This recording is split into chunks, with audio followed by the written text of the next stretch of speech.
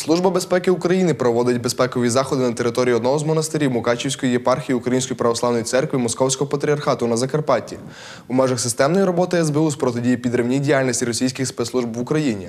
За безпосередньої участі представників церкви правоохоронці проводять огляд територій та приміщень монастиря для виявлення заборонених до обігу предметів, здійснюють перевірку осіб на території монастиря щодо їх причетності до протиправної діяльності на шкоду державному суверенітету України. Усі дії відбуваються в межах чинного законодавства та проводяться для перевірки даних про наміри використання єпархії як осередку руського міра.